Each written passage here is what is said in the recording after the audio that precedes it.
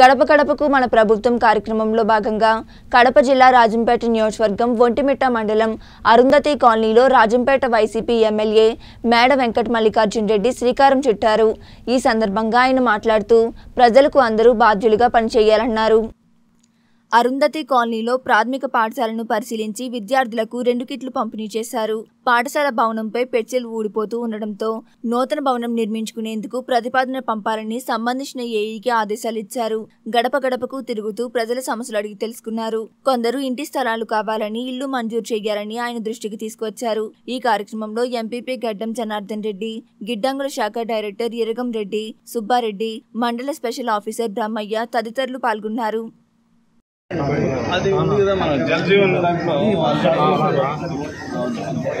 ఆ, అది కాకుండా వేరే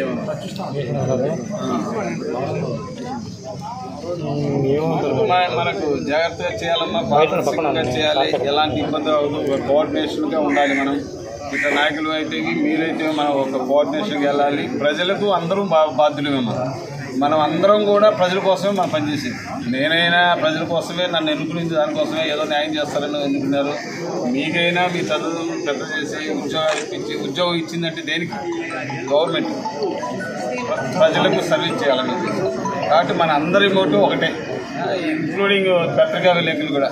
ఎందుకంటే వాళ్ళు కూడా ప్రజలకు మంచి ఒక మంచి సూచనలు సలహాలు ఇచ్చేదానికి పత్రికలు. కాబట్టి మన అందరం కూడా పబ్లిక్ సర్వీస్ చేసేదానికి సిద్ధం కావాలి.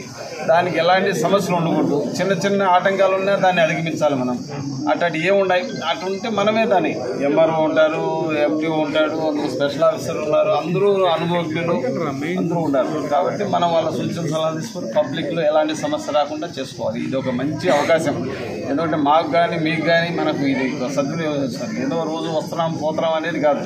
ఇది ఎక్కడ సమస్యలు అక్కడే మనం పరిశీలించాలి దీని తగ్గట్టు ఏం మేజర్ సమస్యలు ఉన్నాయి? మీ దృష్టికి ఏం వచ్చినాయి స్థిరంగా వాలంటీర్లు? చెప్పండి మా ఇప్పుడు ఈ కాలనీకి ఎవరు చెప్పు రవి రవి నాని మీరు? మేజర్ సమస్యలు. ఈరోజు